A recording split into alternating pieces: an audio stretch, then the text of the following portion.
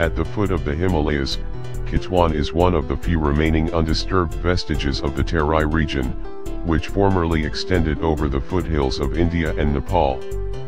It has a particularly rich flora and fauna.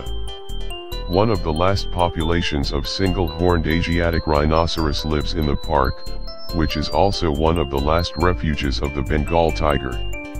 Established in 1973 as Nepal's first national park, the property covers an area of over 90,000 hectares and extends over four districts, Chitwan, Nawalparasi, Parsa, and Makwanpur.